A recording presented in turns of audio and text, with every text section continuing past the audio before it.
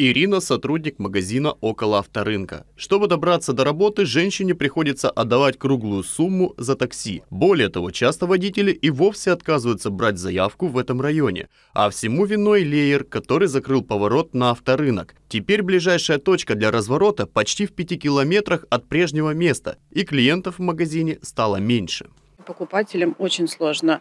Все люди приезжают, и отзывы, конечно, нелестные. То есть тяжело добраться, лишний раз не хочется к нам сюда добираться. На работу добираемся мы очень тяжело. А, объездная дорога не предусмотрена, то есть нет никаких прерывистых линий ближайших. Строительство подобных ограждений на краевых трассах началось еще в начале 2010-х годов. Практически вся дорога до Владивостока давно оборудована леерами. Водители привыкли, а ограничитель в районе авторынка относительно новый и пока вызывает недовольство. Да вообще неудобно.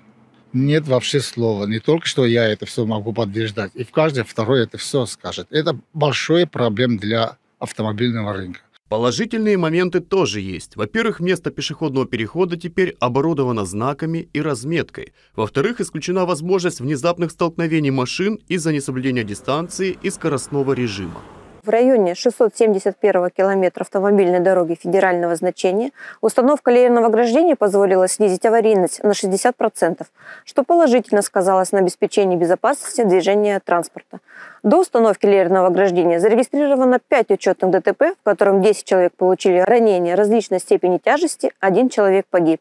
Еще одна болевая точка в округе – объездной путь федеральной трассы А-370 в районе Глуховки. Сотрудники госавтоинспекции добиваются, чтобы и там появился металлический разделитель. Очень часто на этой дороге происходят аварии со смертельным исходом, и возведение леера полицейские считают единственной действенной мерой. Евгений Михайлов, Игорь Антонов, Телемикс.